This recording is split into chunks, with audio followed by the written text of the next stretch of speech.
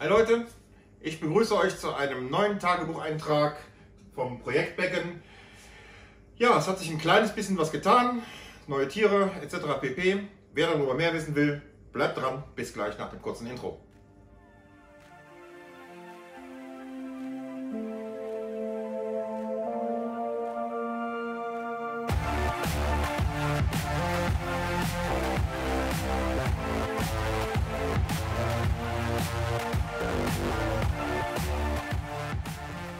Ja Leute, danke schön fürs Dranbleiben und wir legen dann auch direkt los.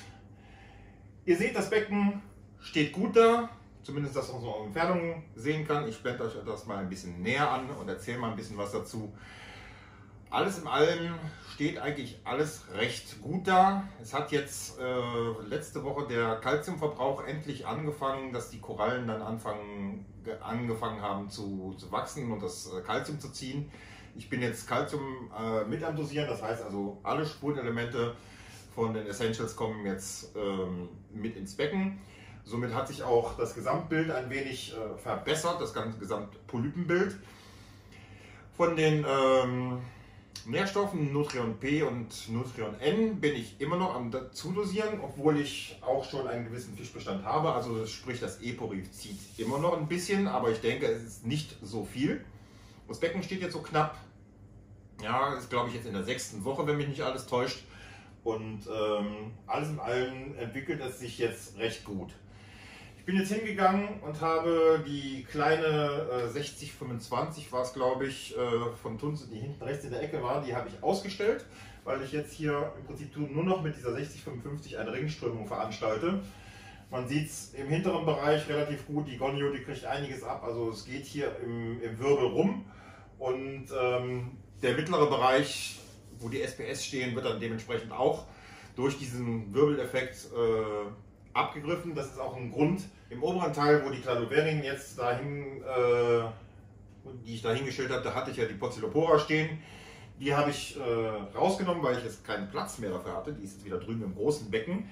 Ähm, man sieht aber bei den ähm, Double Color da oben, bei den Cladoverien, dass da oben sehr, sehr wenig Strömung ist. Komischerweise etwas tiefer wo die äh, Valida steht, da ist schon wieder ein bisschen mehr Strömung und das sind nur ein paar Zentimeter auseinander, aber so merkt man im Endeffekt, gerade in so einem kleinen Becken ist es unheimlich schwierig, alles gleichmäßig zu beströmen, ohne jetzt, ich sage jetzt mal, die Optik zu versauen. Man könnte natürlich jetzt hingehen, hier vorne eine schöne Crossflow-Pumpe äh, hinsetzen, die wird über das Riff drüber blasen und ähm, ja, das wäre dann, ich sage jetzt mal, optimal, aber von der Optik her wäre es, äh, ja, pauschal gesagt, Bullshit.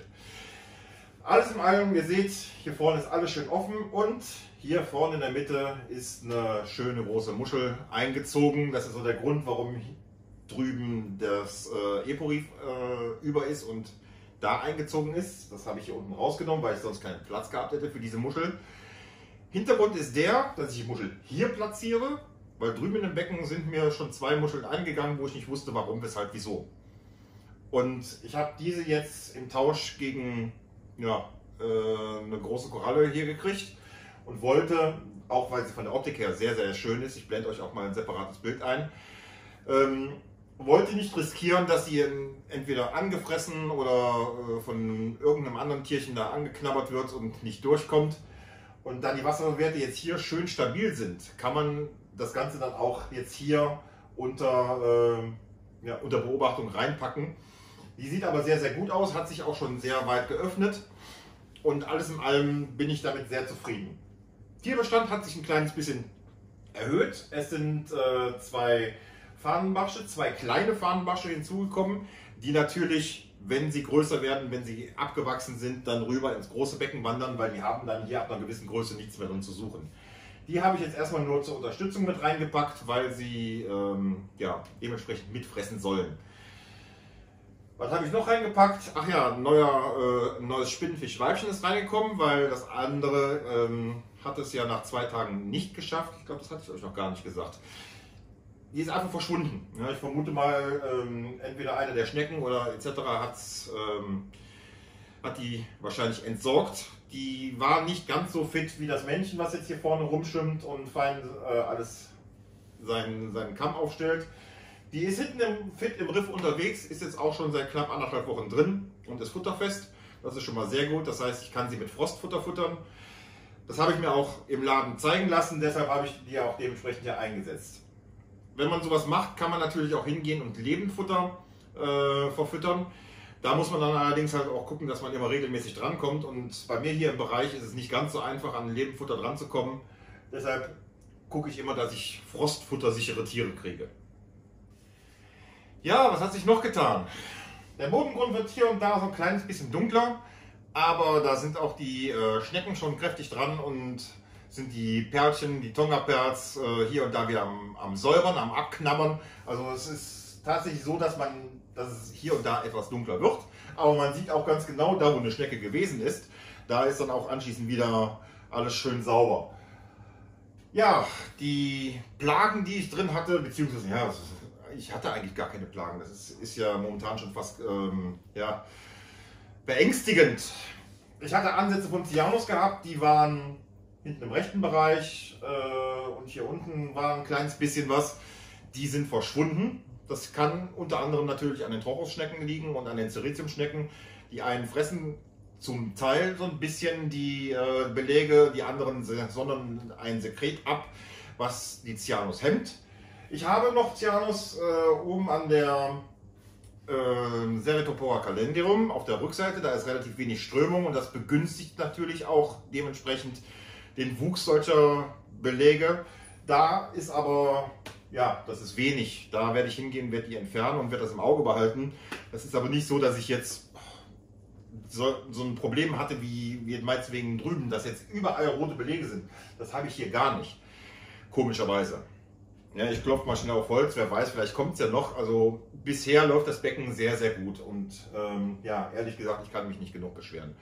Ich bin jetzt tatsächlich in dem Bereich, wie auch eben schon gesagt, dass ich ähm, von allem normal dosiere. Jetzt fehlt halt nur noch, äh, dass ich das äh, Notion N und P nicht mehr zudosieren muss. Da hatte ich ja dementsprechend auch Fischchen nachgesetzt und da werden wir dann sehen, was dann dementsprechend da draus wird ob ich noch mehr besetzen muss oder ob das hier jetzt auf der, der Masse reicht. Das Becken ist natürlich von Korallen her sehr, sehr voll. Dann haben wir natürlich auch noch das Eporif, was auf der anderen Seite immer noch ein bisschen zieht. Nicht mehr ganz so viel wie das alte, habe ich mir sagen lassen, aber es ist definitiv ähm, immer noch am Arbeiten. Und ähm, ja, aber trotz alledem, Dosierung hin oder her, äh, das Becken steht gut, die, das Polypenbild ist gut, es wächst es gedeiht und genau das war das Ziel. Ja Leute, das war die kurze Übersicht zum Becken und äh, ich denke mal, ich haue euch noch ein paar Bilder um die Ohren und äh, wir sehen uns dann beim nächsten, ich denke mal, Live-Event wird es sein. Nächste Woche am Freitag soll es starten. Genauere Infos erfahrt ihr im Netz und hier bei mir auf dem Kanal. Und ich würde mal sagen, wenn euch das hier gefallen hat, lasst doch bitte den Daumen da. Solltet ihr diesen Kanal hier noch nicht abonniert haben, abonniert ihn doch bitte, macht die Glocke an, dann kriegt ihr auch mit, wenn ich wieder einen raushaue. Und ich würde sagen, in diesem Sinne, einen schönen Tag, Abend oder Nacht oder wann auch immer ihr dieses Video hier geschaut habt. Bis zum nächsten Mal, euer Walter. Ciao!